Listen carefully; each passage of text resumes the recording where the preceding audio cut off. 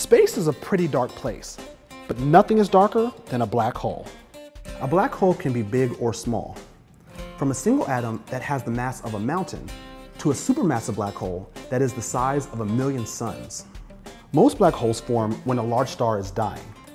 But don't let the name fool you. A black hole is anything but empty. As the star collapses, all of the matter is squeezed into a tiny space. It would be like squeezing all of Earth into a space the size of a fingernail. The result is a place where gravity is so strong, not even light can escape, making these cosmic monsters literally invisible.